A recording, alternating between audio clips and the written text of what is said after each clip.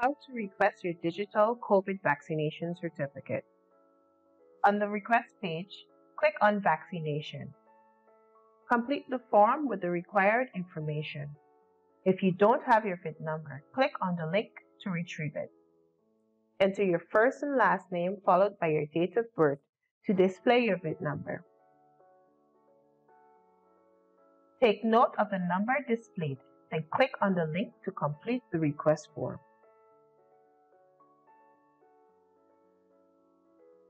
Select your request type. Enter your email address, followed by the VIN number retrieved in the previous step and your year of birth. Retrieve your profile Ensure that your full name and vaccination status are listed correctly. Then proceed to upload a copy of your vaccination card.